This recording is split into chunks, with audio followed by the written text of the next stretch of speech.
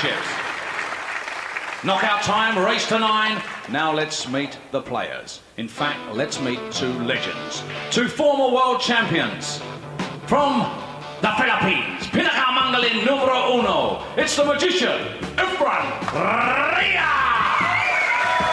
And from the USA, a member of the coveted Hall of Fame and former world champion, it's the Scorpion, Johnny Archer!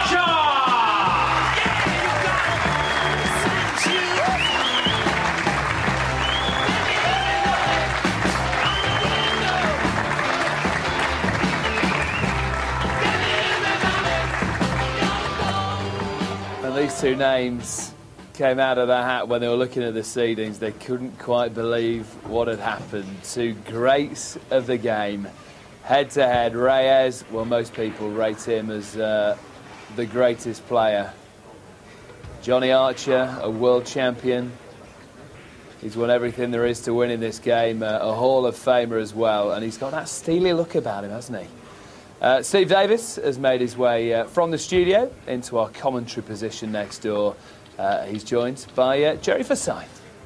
Yes, uh, a different style of match here. And Jerry, obviously, uh, have you been speaking to Johnny Archer at all in, after struggling through? How's he feeling? Well, he's feeling a lot better now. I mean, it, earlier in the week, you felt that nothing was going to go right for him.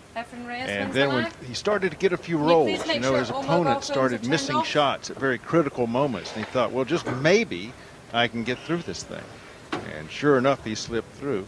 And of course, Reyes It's a race to has been rounds. playing steady First Eddie all Efren week Reyes, long. When we first saw the World Championship on these shores, uh, Johnny Archer was rated as the number one US player, the one that, would, that was most likely to be world champion. Uh, it's not that, is he just gone off the boil? Is that would be the case? There's nothing gone wrong with his game. Is, is it just a case of the weight of good players and you can't always win? Well, yeah. Plus, Johnny was very, very hot in the early and mid 90s, and and then his game went away a little bit, and he admits this himself. This year, however, he's been the hottest guy in the states. He's had out of 11 tournaments, he's had nine top 10 finishes. He's won three of them, so he's, you know, he, he's he's winning 25% of the tournaments he enters. He just won a tournament last week in Canada. Plus, his team won the border battle against Team uh, Canada. So he's he should be on a roll. Um, right now, Johnny would be probably the favored uh, U.S. player to win this thing if you had to pick one from the United States. Uh, unfortunately, he's got the biggest hill in the tournament to climb right here. against the magician Efren Reyes. A man who just saunters around the table.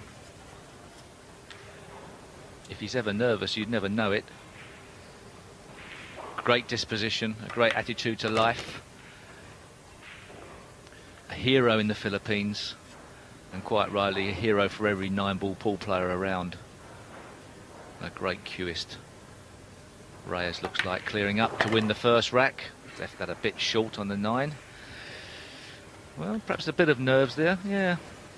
I Still- don't know. He's still going to make the ball. I don't know if he has nerves. He's the most laid back man I have ever met in my life. Right in the heart of the pocket. Takes a tough shot and makes it look easy, Steve. And Efren Reyes leads Johnny now one to nothing. Winner breaks. Efren Reyes not renowned for having the hardest break of the top class players, but it's nothing to do with how hard you hit them. It's how accurately you hit them and how consistently you can break off on the table that you're playing on. And it'll be interesting to see if these players can learn the break for this particular table, the signature break for this table, which is so often uh, the, the case where we see a player unfold and win in this Second World round, Championship. They start to realise what type of break is needed for this particular match table. Steve, I watched two of Efren's matches yesterday, and he was hitting them, hitting the break shot harder than I've ever seen him hit before. See, that's that's really not a bad break. It's it's not a, a cannonball break, but it's much harder than we've seen Efren strike the uh, break shot in the past. And with this kind of result, can't you can't complain about his break. You can see there how softly he was gripping the cue for how hard a strike he hit. Similar to perhaps golf, you, know, you don't grip the club tight, otherwise you strangle it. And uh, Efren Reyes gripping the cue very softly there for, well, not just that shot, but his break off as well. Very soft grip on the cue.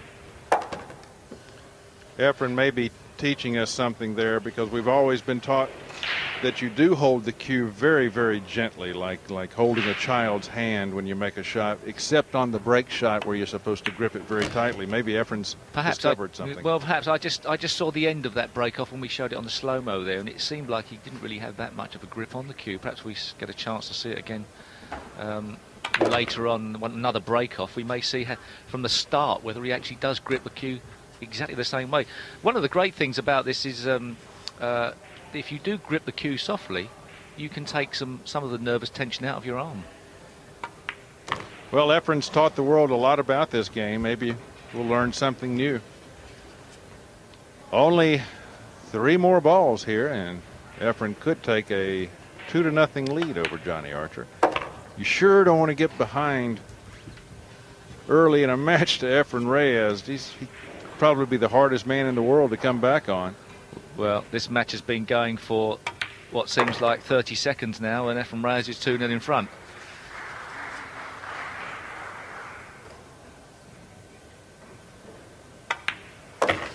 Reyes cementing his second nine ball. And we've got plenty of action around this room today. We're going to go upstairs and watch a match. Here is Holtz Mark Holtz from Luxembourg clinching a fantastic victory against the guy that I lost to last night, Warren Kiamco. Well, that's not on the cards. A Filipino going down. I had Kiamco favored in that match. Uh, I, I, had him favored as a as a nine six winner over Holtz, and it just shows you how volatile nine ball can be. Whoever's hot on a given day can take the game home. Rack three. Efren Reyes to break, leading by two racks to nil. We'll be showing you some more from upstairs later in the day. Keep you updated, uh, especially on the match between Petroni and Morris. Still going on upstairs. Well, another super break, planting the cue ball in the middle of the table. It did get bumped around. Let's have a look at that. Uh, if we get, does that look? That's not tight, is it at all? That's not tight. That's I've not never tight seen grip. a. I've never seen a player hold a cue like that on the break shot. I bet I will in the future. Well, I, don't, I, don't, I doubt if he's, he's changed that. It's just that perhaps we've never sort of had the, the ability to watch it in slow motion. Yeah, I just never noticed. But you know, he, he might have he may have changed something because his break shot has changed. He really is hitting them harder. Perhaps he's got some lessons from a man who sadly is not here this year. One of the most spectacular breaks, the American Shannon Daulton, who we saw in action last year here. He could break the balls hard. Oh boy, And of course, that's why they call him the cannon. Shannon the Cannon and Francisco Bustamante, um, Efren Reyes' travel partner and uh, partner in crime. He's got a he's got a pretty hard break. There's a mistake there from big mistake from Efren Reyes. Really, he's uh, he's overhit that by enough to cause a few headaches. But his knowledge around the table, perhaps a three cushion, no, just a one cushion there, slowly playing inside the eight. That was a clever shot. He just never seems to work real hard on the pool table. Well, he made that look a lot easier than it actually was. Well, he's making stringing racks together look awfully easy. Archer has done nothing but warm the chair. You know, we're talking in the studio, uh, Jerry.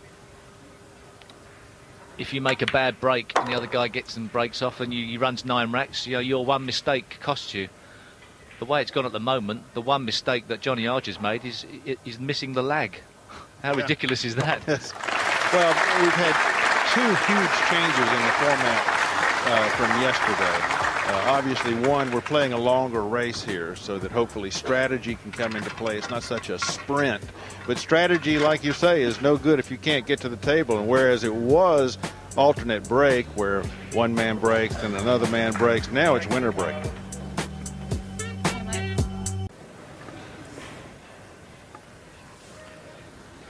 Efren Reyes back at the table after after a little bit of a break. Well, that have stopped his momentum. Well, that's not the best break he's made. No, that did not look very solid at all. And he's paying the price. Here's the back of his hand on that break you were speaking of. Well, there's no tension at all there at all. Never seen that in a professional pool player before. That's Cue ball got quite a nasty kick off the seven there and ended up. Well, this is the most difficult shot Reyes has had to play in the match so far. Oh, and he missed it badly. And when you're going to miss them, it does help if the outcome is that. Just put a bit of unwanted right hand, well, perhaps not right, just uh, perhaps just perhaps just misjudged it. Yeah, you could see him trying to steer that cue ball after he had let it fly. Good thing about that shot, though, is in many ways, because he didn't pot it, he was so far out with it that the cue ball was so far out as well, and it went safe. Right. Nasty position for Johnny Archer to come. This is the first time he's had a shot at the table, and this is a horrible shot. Somehow got to swerve around the five off the back cushion to, to try and get lucky. Is about all he can hope for. Needs a hit and needs something good to happen. And it almost did, but that's tragic for Johnny. Now he's given the table to Efren Reyes with an easy shot. Here's another look. He had the spin, Steve. Yeah, great effort, and uh, well, he's worked so hard to get himself back in to this tournament in what looked like being the biggest shock and upset to go out in the first phase. But was it to any avail? Efren Reyes getting the breaks. And you And- don't want to give this guy breaks. And the tables have been open. I mean, there's not a lot of problems to solve on these tables for Efren. The only one thing he has to watch is this shot right here. When he contacts the nine ball, he doesn't want it to roll someplace ugly like up against the eight. both players masters of tactical play, masters of the kick shot. But in open table play, well, that's is that okay? Yes, I think so. In open table play, both players can pot the balls, and it's whoever gets going. We saw one rout, our first televised match. He's overcut it. That's an awful shot from Reyes. He's given Archer an in. He certainly has, and you know he, you could see he, he didn't stay in his form on that shot. He came up and tried to steer the ball immediately. Well, that's the most emotion I've seen in about five years of watching Efren Reyes on the television. Television, the most frustration I've seen him seen him give out. Well, Reyes knows that Johnny Archer is one of the men in the field quite capable of keeping him in his chair for rack after rack after rack. Johnny Archer is not the guy you want to give an opportunity to. He's a bit he's a bit weak in pace on that, but he would have liked to have been another two or three, well, a couple of feet more at least. But think how big it'll be, Steve. If he can get through this rack, his arm will be oiled up a little bit. He'll be relaxed. He'll be within two games instead of four down. Uh, big, big opportunity for Archer here. Well, he didn't get the name Scorpion for nothing.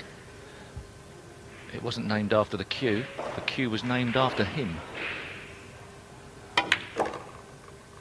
That was a difficult shot, made very easy.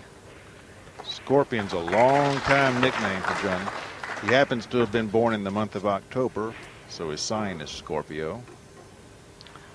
He was stung by a scorpion as a child, and he had a pet scorpion.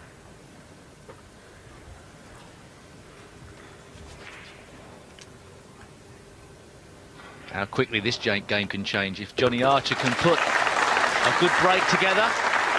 Oh, and Johnny doesn't have much problem putting together good breaks. He's one of the big breakers of the game. We're going to go upstairs, Steve.